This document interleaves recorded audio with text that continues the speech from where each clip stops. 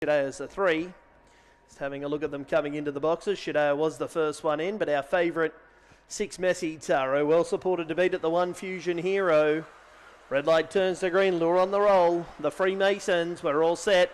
Ready and racing, Messi Taro got out like an absolute bomb. It'll lead. Second on the outside and pushing forward. Money Spider burns it for speed. Third is Fusion Hero. There followed back through the field. Armour Tree, Sparkle, Crackle, Street Shadea. Last one to swing Min Jam Sayer, but it's got its measure here. I think Money Spider. It does. Money Spider too good for Messi Taro. Third over the line was Armour Tree, Sparkle, Crackle, Street.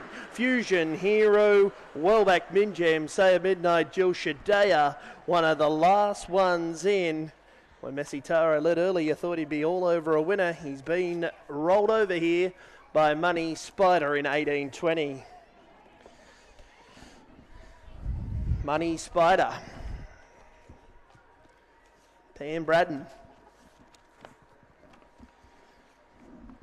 They're just so hard to beat here. The Braddons over the 318 400s. And Money Spider doing a great job there, defeating Messi Taro. Third Armour Tree Sparkle and fourth to the five Crackle Street.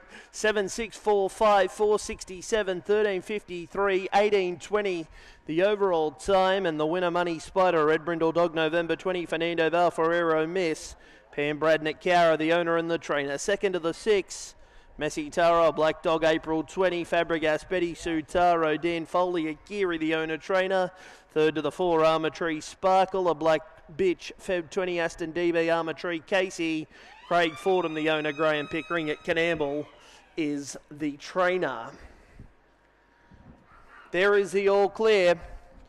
All clear given on judges' numbers. All clear seven, six, four, five. All clear here on race number eight.